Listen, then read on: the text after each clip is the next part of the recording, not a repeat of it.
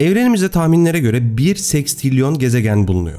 Sekstrilyon dediğimiz ise hayal bile etmesi çok zor bir sayı. Misal dünyamız bir kutup ayısından 1 sekstrilyon kat daha ağırdır. Böyle söylediğimizde bile algılaması güç tabi. Birin arkasına 21 tane sıfır koyduğumuzda elde ettiğimiz sayı bu. Tabi bunlar istatistiksel ve oldukça yakın tahminler. Ve tüm bu gezegenleri gözlemleme ihtimalimiz yok. Ama buna rağmen tüm hepsiyle ilgili çok önemli bir detayı biliyoruz. Biliyoruz ki bu 1 sekstrilyon gezegenin hepsi ama hepsi neredeyse mükemmel bir küre biçiminde.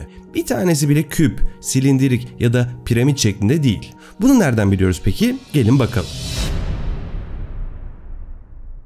Gezegenler bir yıldızın yörüngesinde biriken kaya ve toz bulutunda doğarlar. Hep duyarız ya önce her şey bir toz bulutuydu diye. İşte bu toz bulutunun içinde parçacıklar kütle çekim etkisiyle birbirlerine yaklaşırlar.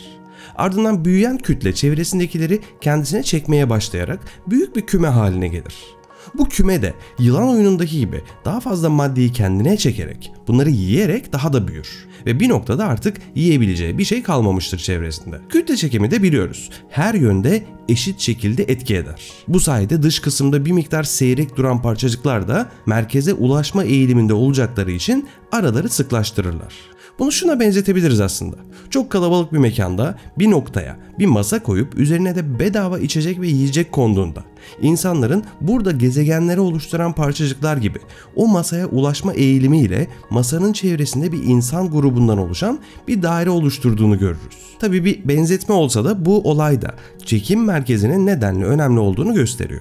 Tabi küre desek de mükemmel bir küre olması pek mümkün değil. Dünyamız mesela gayet küre gibi dursa da aslında ekvator kısmında bir şişkinliği vardır. Bunun nedeni de temel olarak dünyanın dönüşüyle alakalıdır. Örneğin dünyamız kendi ekseni etrafında her bir dönüşünü tamamladığında ekvator kısmı kutuplardan daha fazla yol kat eder. Yani ekvatorun toprağı kutuplara doğru olan topraklardan daha hızlıdır. Tabi bir de bir şey ne kadar hızlı dönerse orta kısmı da dışa doğru o kadar şişkinlik yapacaktır. Biz insanların da kurtulamadığı göbeğe benzetebiliriz bunu. Zira bu şişkinlik gezegen belli bir olgunluğa, belli bir yaşa geldikten sonra oluşmaya başlar. Ama dünyamızın şişkinliği ise o kadar da aslında abartılacak bir şey değil. Kütlesiyle karşılaştırıldığında en azından. Misal bir kutuptan diğerine bir delik açarak yapacağımız ölçümle ekvatoru düz bir şekilde delerek yapacağınız ölçüm arasında 43 kilometre kadar bir fark görürsünüz. 43 kilometre fazlalığımız var anlayacağınız. Fakat bu etkiyi dünyamız kadar kayalık ve katı olmayan diğer gezegenlerde gözlemlediğimizde çok daha ciddi farklar görebiliriz. Örneğin Satürn. Çoğunluğu gazdan oluşan bir gaz devi. Satürn'de dünyada yaptığımız ölçümü yapsaydık aradaki fark yani Satürn'ün fazlalığı 11 bin kilometre olurdu. Bu fazla kalınlık haliyle bazı dramatik sonuçlar da doğurabiliyor. Örneğin bir gezegenin orta kısmında fazladan kütle birikmesi durumunda bu fazla kütle dönüş etkisiyle tekrar yayılarak bir uydu ortaya çıkarabilir. Peki bütün uydular yuvarlak mı? Tabi yine küp şeklinde olmayacağından emin olsak da asteroidler ya da uydular haliyle daha az kütleye sahipler.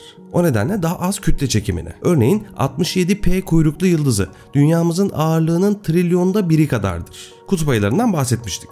Bu yaklaşık 1 milyar kutup ayısı yapıyor. Bu düşük kütle de yine haliyle tüm parçacıkları araları sıklaştıracak kadar etkileyemediği için bu asteroid ya da bu uyduların bazen garip şekillere sahip olmasına neden olabiliyor. Ama sorumuzun cevabı açık. Kütle ve dönüş ve bunlara etki eden kütle çekimi sayesinde bir gezegen olabilecek kadar büyük kütleli bir cisim neredeyse mükemmel bir küre olmak zorundadır. Bitirmeden bu tip içerikleri kaçırmamak için Popular Science Türkiye YouTube kanalına abone olup bildirimleri açmayı unutmayın. Haftaya tekrar görüşmek üzere. Hoşçakalın.